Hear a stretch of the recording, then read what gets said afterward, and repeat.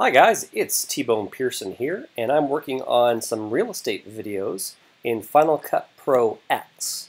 Um, so as you can see, I have two different house videos here. Uh, this is uh, out in the suburbs a bit, and this one here is right downtown. And I just wanted to render this video. Um, so in Premiere Pro, which I use all the time, uh, you use something like a, it's called a time bar, and you just select on the top what you want to render. But in Final Cut Pro X, it's a little different. So this is what you do if you just want this video and not this part. Um, so you go to Range Selection, and you just highlight um, the portions uh, that you want to render. So basically, because I selected this clip, um, it'll just render this and anything above it, uh, which was confusing at first. Um, I thought I had to select all of the clips to render. So let's give this a shot and see how it works. Uh, so let's go up to File, Share, Export File 1, and let's have a look here. So this is going to show us that it's rendering just the portion we want. So it's going to tell us what file size it is. It's 700, sorry, 378. Let's go settings. Um, now this is, the resolution is 1920 by 1080, but my video is 4K. So how do we change that? Um, da, da, da, um, I might be okay with it being HD. Let's cancel and have a look. Oh, maybe because the first video wasn't HD. I suspect. Um, and let's go to,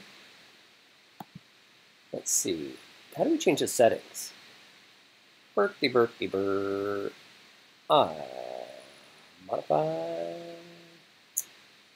You know, I might just be cool with it being 1080p. I believe you'd have to change the settings for the project, and I may then have to scale the clips up. Um, Let's see. Let's have a look here. Where I know where it is in Premiere, but where is it here? Preferences. Hmm. Maybe up in the project settings here? There it is there, 1080p HD. How do I change that? I don't know.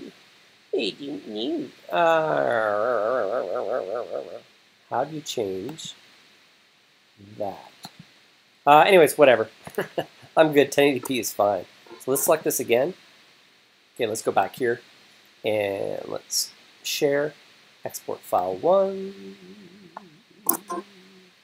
and let's render to desktop, and we'll call this uh, in town,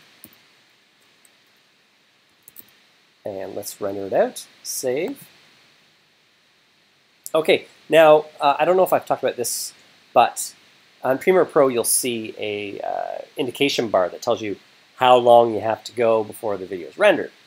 In Final Cut Pro X, you just go to Window and you go to Background Tasks, and it will show us that we are at 5%. Um, so, there we go. Um, yeah, so that's how it's done, and you will just have the selection that you did there, just the range, using the range selection tool. Anyways, guys, that's just a quick tip. Uh, I will talk to you guys later. Please like, comment, and subscribe, and I will talk to you guys later.